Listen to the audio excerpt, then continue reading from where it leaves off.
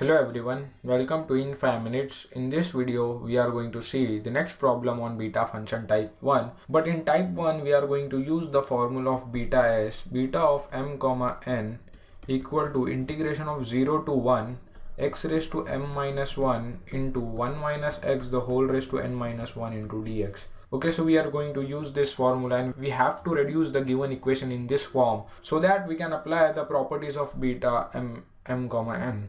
So this is our question. So in this question, if you see, we have integration limit from 0 to 2a, but we want integration limit from 0 to 1. And here if you see, here we have 1 minus x and here we have 2a minus x square. So we have to make this term 1 minus x the whole raised to something. So our i will be integration 0 to 2a x square. We can write this term as 2ax minus x square the whole raised to half into dx. We instead of 2ax minus x square we need here 1 minus x term that is 1 minus some way single variable. So what we are going to do? If we substitute x square let's say we substitute x square equal to 2ax into other variable. So if we substitute x square equal to 2ax into t then we get 2ax minus x square. x square is 2ax into t. The whole raised to half.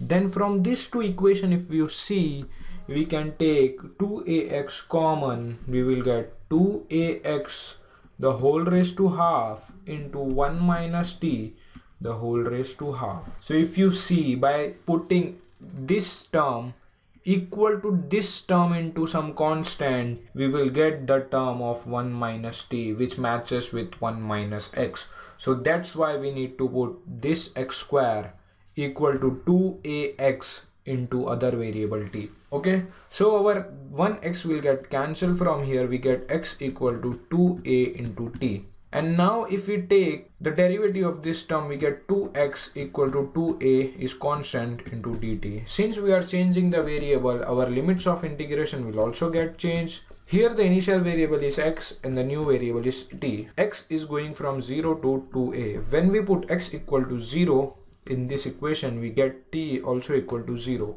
when we put x equal to 2a here we get 2a equal to 2a into t. 2a 2a will get cancelled we get t equal to 1 so now if you see our limits of integration are also from 0 to 1 which matches with this equation.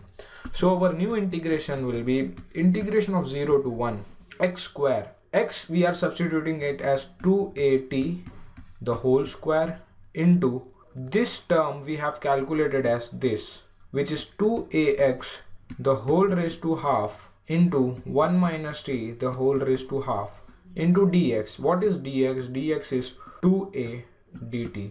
Now if you see here we have x term and we are putting x equal to 2at so this x will be 2a into t.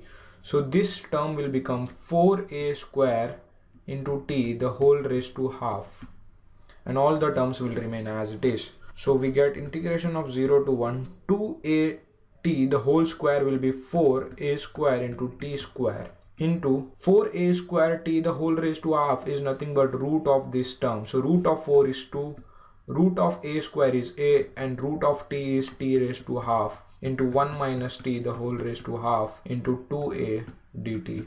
Now we will combine all the t term together all the a term together and all the constant together. So we have 4 into 2 into 2 which is equal to 4 into 2 is 8 and 8 into 2 is 16 which is constant. So we can take it out of the integration sign. Integration of 0 to 1 here we have t square here we have t raised to half.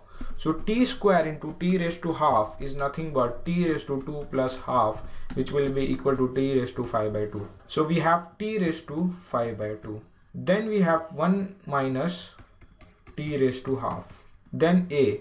a square into a is a cube and this a will be a raised to 4. a raised to 4 is constant so we can write with 16 a raised to 4. So this is our new integration.